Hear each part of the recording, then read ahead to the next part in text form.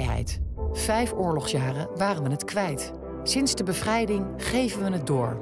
Van generatie op generatie. Dat is belangrijk, zeker als je beseft dat niet alle landen deze vrijheid kennen. Samen zijn we verantwoordelijk om vrijheid in stand te houden. Daarom herdenken we op 4 mei de oorlogsslachtoffers. En vieren we op 5 mei dat we in vrijheid leven. Hoe geef jij vrijheid door?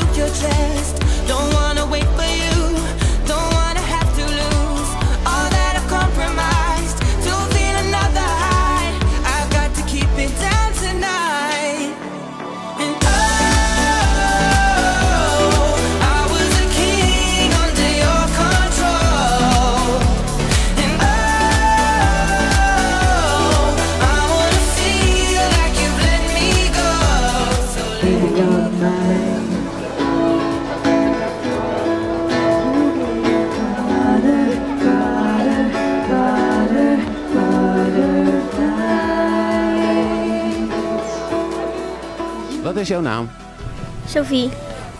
En heb je al wat verkocht vanochtend? Ehm, ja. En eh, hoe vind jij het om op de markt te staan? ja, wel leuk. Wie stond het idee gekomen? Mm, Mijn ouders. Je ouders? Ja? Wat verkoop je allemaal? Ehm, knuffels, boeken ja, en haarspulletjes.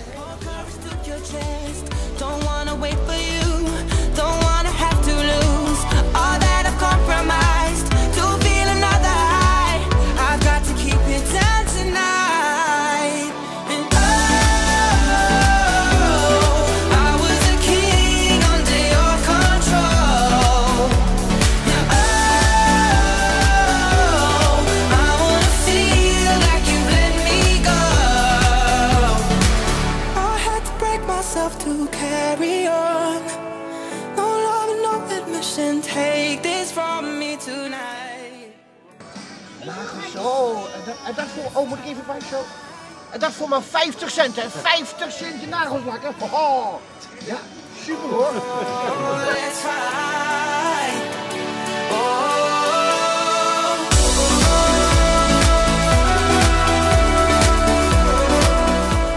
Nu sta je hier eh, op, eh, op de Koningsmarkt. Eh, wat ben jij aan het doen vandaag? Nou, dat is een keer proberen. Ik maak een satéetje met gado gado. Dus eh, ja, we moeten eigenlijk in de camera kijken natuurlijk. Hè? Ja. Ja, maar net als de camera er niet staat. dat belangrijk. Dus eh, nee, dat, is, eh, dat doe ik vandaag. Eh, de, winst gaat naar, naar een, goede, een goede instelling, naar de Kinderen van Bali. doe ik elk jaar. Dus eh, ja, vind ik leuk om te doen. Koning, Koningsdag voor jullie altijd iets belangrijker als sterrenradio, hè? Ja, eh, ehm, eh, ja Wil Holmers is natuurlijk een, eh, een donateur van de C-radio. En eh, die, eh, die vraagt ieder jaar als wij ons eh, hier willen profileren en eh, mee willen werken aan eh, Koningsdag. En een prachtig mooi evenement. En eh, ja, we, we nemen een paar live artiesten bij. En eh, ik denk dat je er een prachtig mooi evenement krijgt.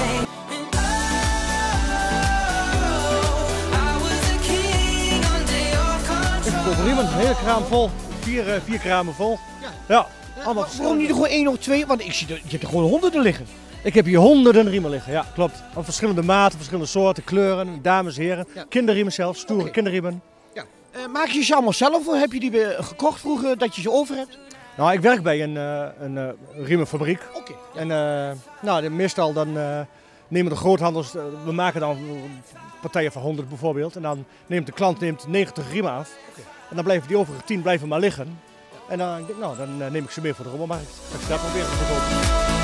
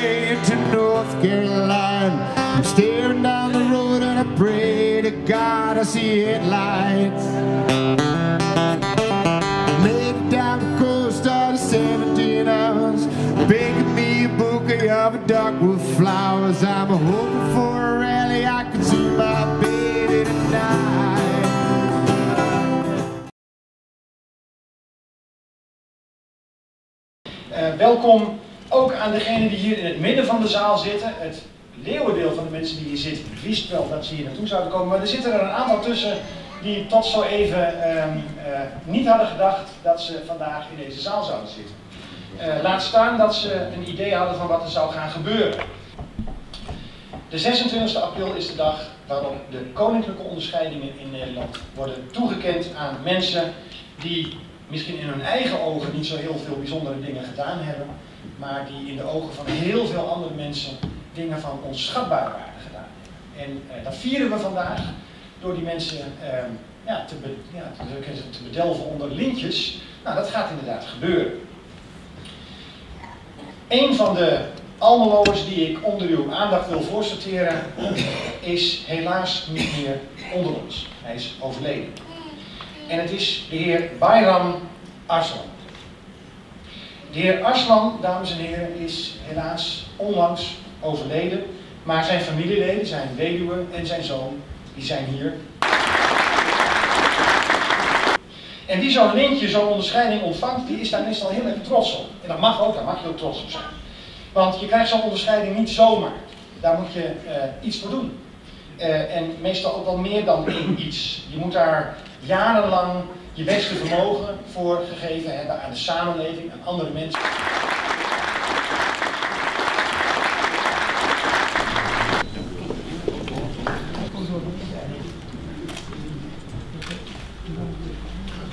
Eh, ik ben hierin gelokt. Ja. Ik wist morgen om half tien pas dat dit zou gebeuren. Oké. En, eh, en dat ging allemaal om half tien met u hier eens. Om half tien was ik hier. Ja, ja. En er maar iemand anders, een kennis van mij, zou gehuldigd worden. Zo, ja, oké.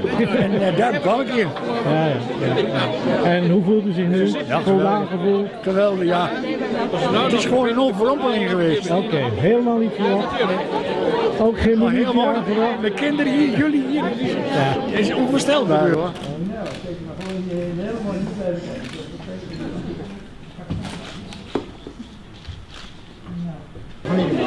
Had u het verwacht?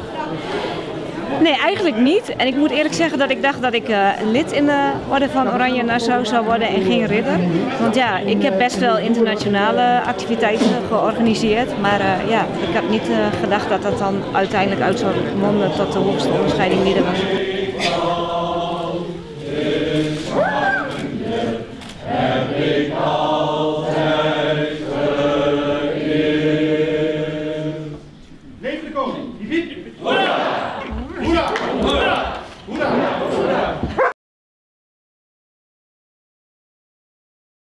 Nou, wij vinden eigenlijk dat de jongeren betrokken moeten zijn bij de 4 mei-herdenking. We hadden altijd per school één eh, persoon, één leerling die een gedicht voorlas. Vorig jaar hebben we afgesproken dat we hun eigen gedichten gaan voor laten voordragen. En die worden geschreven door de leerlingen van de diverse scholen in Almelo, van voortgezet onderwijs en beroepsonderwijs. Kijk eens naar van Suzanne Helder.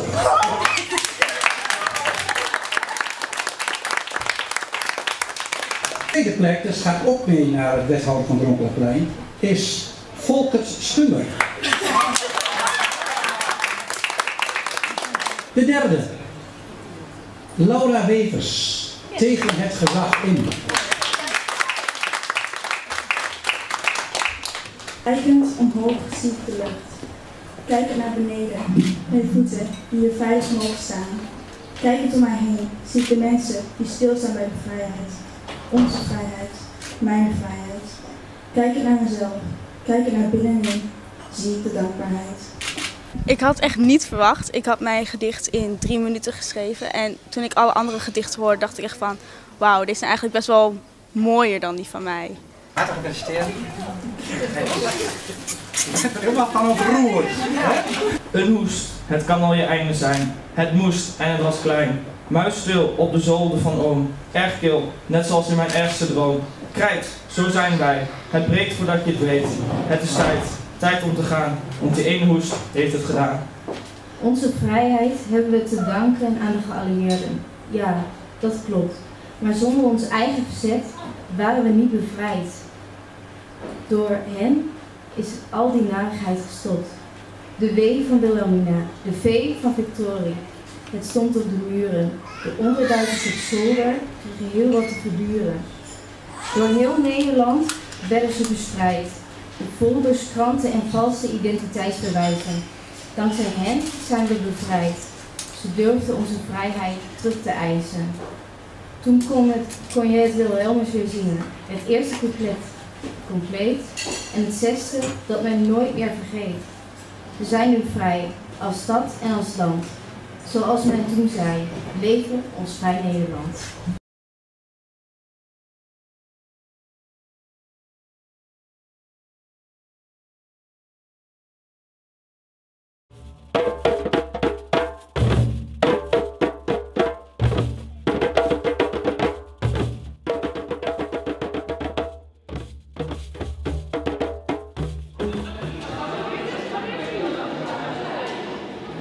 Twee dagen studenten van ons van de locaties Enschede, Almelo en Twello gewerkt met bekende arrangeurs, bloemenarrangeurs. En die hebben samen een werkstuk gemaakt. Ja, het thema voor dit jaar is Vintage en Nu. En het is wel leuk, we staan in een oude fabriekshal. Oude fabriekshal van de textielfabriek van vroeger. Textiel, eh, nou, dat heerste natuurlijk in Twente. En we dachten, nou, van Katoen en Nu heeft hier eh, ooit gespeeld. En we dachten, nou, als wij toch in zo'n oude omgeving, in een oude fabriek gaan eh, exposeren, gaan we het noemen Vintage en Nu. Een stukje van vroeger en nu met elkaar verbonden. En dat doen we met eh, onze tentoonstelling, met het bloemwerk. En alle objecten die hier staan hebben eigenlijk een knipoog naar het textielverleden. Dus in alle objecten zit ook bijna een stukje textiel verwerkt. En eh, hebben de leerlingen daar hun eigen invulling aan gegeven. Ja, onder begeleiding van een gastdocent. Hebben.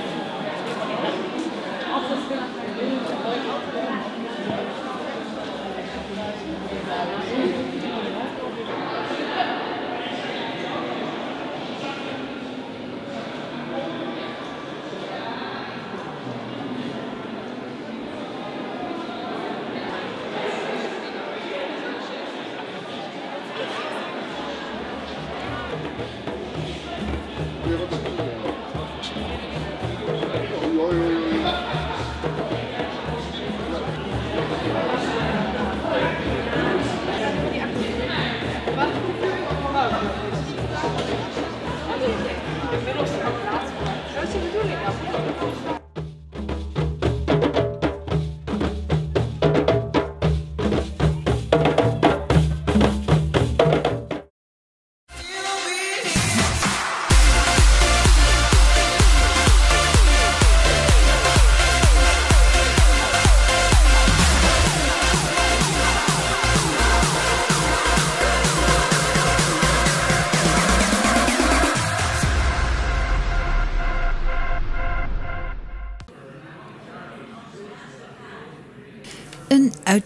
Op hoog niveau. Op de 19e verdieping van het stadhuis in het atelier.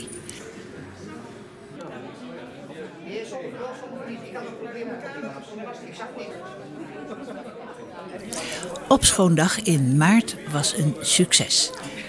Tijdens deze opschoondag werd in heel Almelo zwerfvuil opgeruimd. Inwoners, ondernemers en de gemeente werkten op deze dag samen aan een schone omgeving en het tegengaan van verspilling van grondstoffen.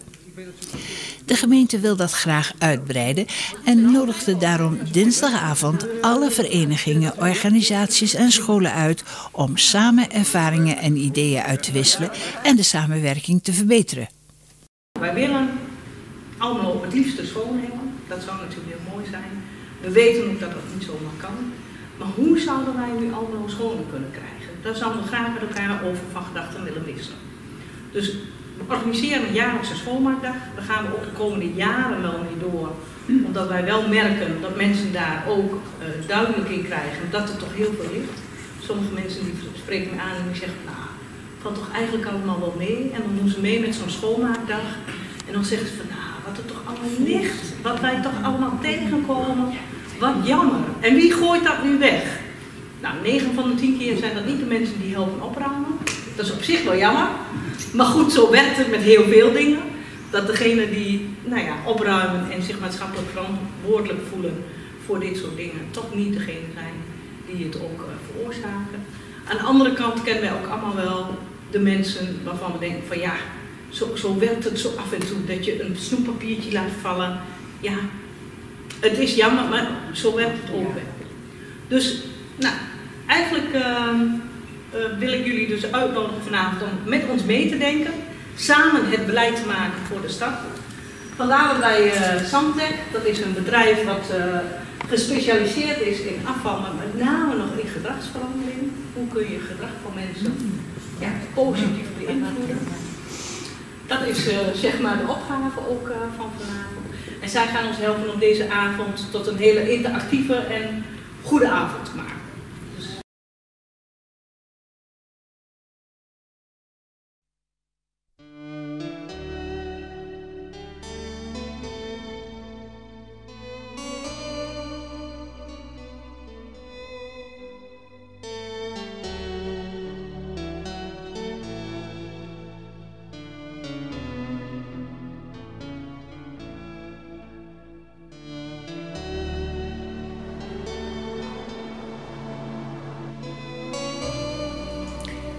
Samen met kunstenares Maria Rol ontwierp kunstenaar Hans Vijgen in 1981 een decoratief patroon van kalligrafische tekens, uitgevoerd in frisse blauwe en gele kleuren.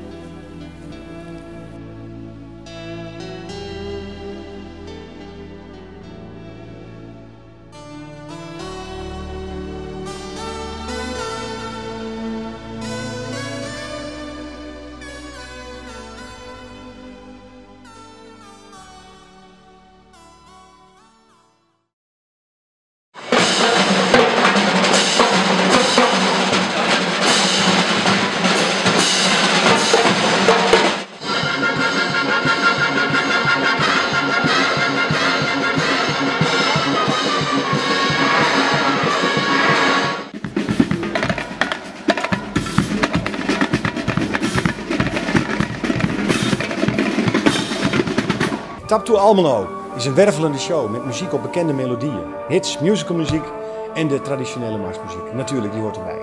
Een show met verrassende elementen in de presentatie van elk korps dat gaat optreden. Een show met deelname van vaandelzwaaiers, majorettes. En omdat het de vijfde editie is, een show met een verrassend slot vol met zang, gezamenlijke optredens van korpsen en een geweldig spetterend vuurwerk. De vijfde keer. En de vijfde keer gaat de opbrengst van dit mooie evenement naar Kans voor een Kind. Het gaat om een goed doel, dus doe vooral mee en kom kijken.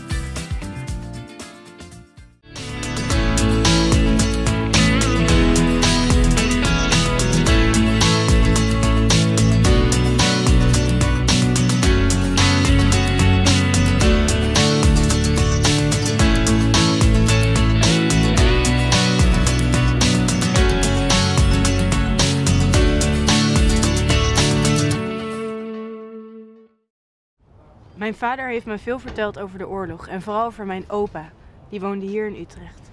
Omdat er in het laatste jaar van de oorlog niets meer te stoken was, ging mijn opa samen met andere mannen op zoek naar kolen, die eigenlijk bestemd waren voor de Duitse treinen. Ze werden verraden en door de Duitse soldaten onder schot gehouden. Eén man probeerde te vluchten en toen begonnen de Duitsers te schieten. In dat moment van chaos rende mijn opa weg over dit spoor en kon hij ontsnappen. Gelukkig maar, want zonder mijn opa was mijn vader er niet en zonder mijn vader was ik er niet.